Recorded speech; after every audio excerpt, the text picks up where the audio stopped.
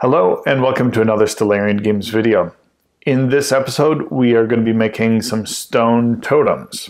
I plan on making some uh, jungle scatter terrain and in preparation for that I thought some stone totems would be a, a good addition to that scatter terrain. So in this episode we're just going to be making the stone totems and then hopefully in future episodes we'll be going into the actual jungle scatter terrain. Let's go to the crafting table.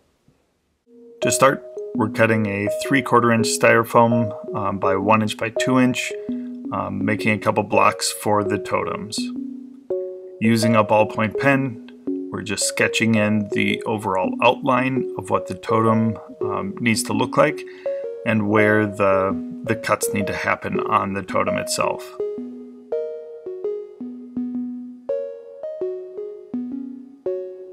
On this one, I'm putting a little bit more detail in right away uh, knowing that this will be cut out with the hot wire cutter in the next step.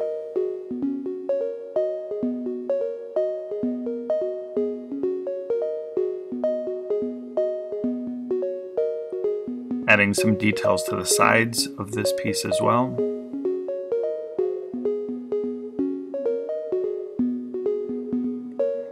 Now with an X-Acto knife, I'm just sawing in kind of vertically around those pieces. I'm not trying to cut them out yet. I'm just making a, a slice in and around all of the details. We're going in about a 16th of an inch.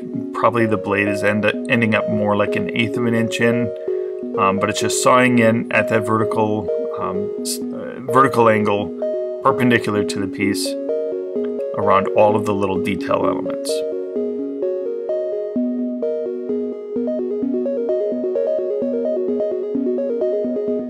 When we get to the hot wire step, we're just going to be setting it for a specific depth and then shaving in behind these pieces. So we'll end up cutting these out um, and then coming back and rescuing these cutouts in, in when we start doing the, the actual build. Now we're at the hot wire cutter and we're cutting out some of the larger pieces, the, the actual cutouts on the totem.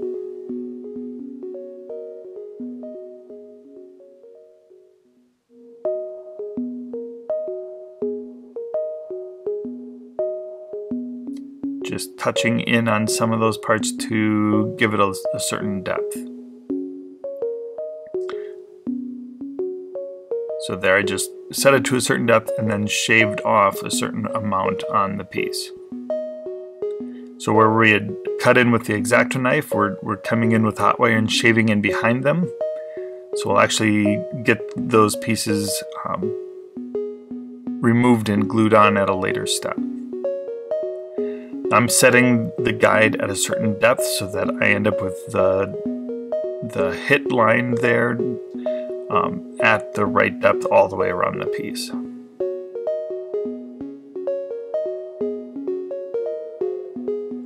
And then freehanding cutting the actual curves.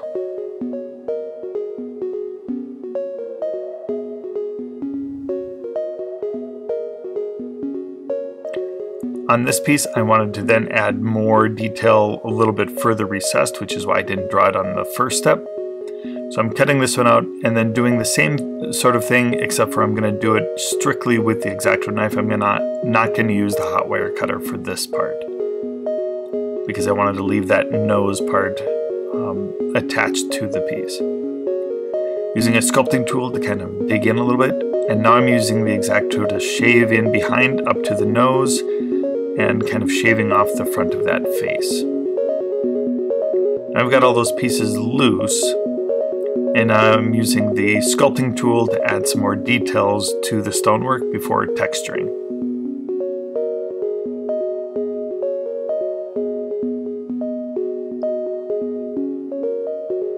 Beveling some of the edges to make it a little bit more like rough stonework.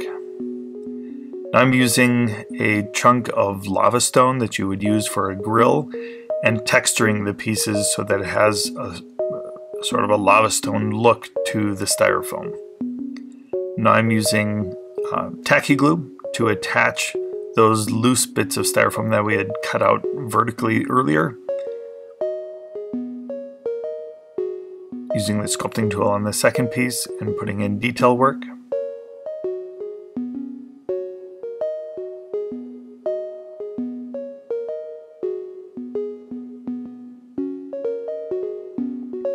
And texturing this piece as well. I'm going pretty vigorously with the texture to make it look like a pretty rough hewn stone totem. I wanted a texture before adding any of the other face elements to, to make sure that the texture got all the way down to that lower level. Now we're going to take all of those little cutout pieces and glue them into place. Because the X-Acto knife kind of went a little bit deeper than the hot wire cut, you can kind of see where all of those need to line up and be placed. Just adding a little bit of tacky glue to the backside of each one of those pieces and gluing them into place.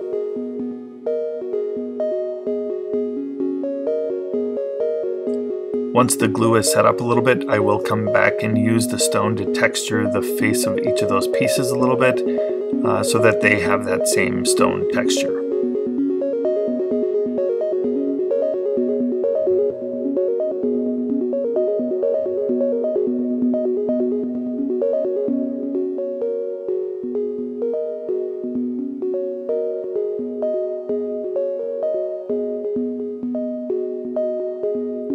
The side pieces as well.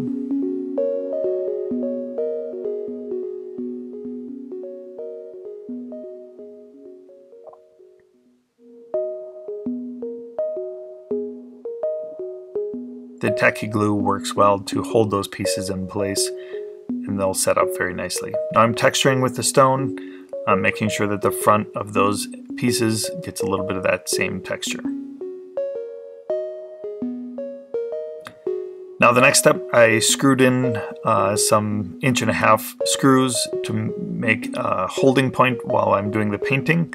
And I'm using the black Mod Podge uh, mixture, giving it a quick base coat.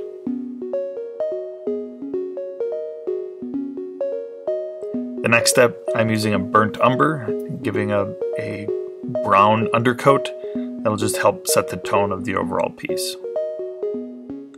Once that's dry, I'm going over with a dry brush of a gray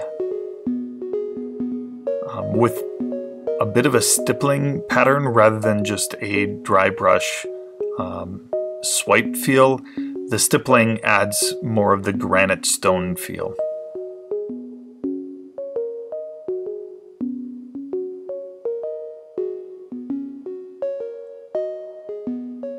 Once the gray is done, I'm coming back with a white paint and doing a little bit lighter stipple, but adding that same white stippling in to, to make it look like the granite uh, speckles that you would see in stone. They look a little bit light right now, uh, but the next step will be a black wash, and that will tone down the, the brightness of the piece.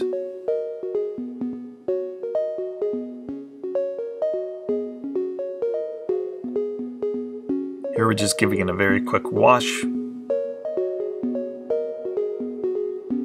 letting that dry. Now we're giving it a coat of just white PVA glue, um, adding some flocking to it to make it look like it's a mossy stone rather than just a bare stone monolith. You could stop at the bare stone monolith if that's if you're doing an internal mon monolith or something like that, that would certainly be appropriate. These I'm planning on being part of a jungle terrain, so I wanted them to be kind of moss covered stones.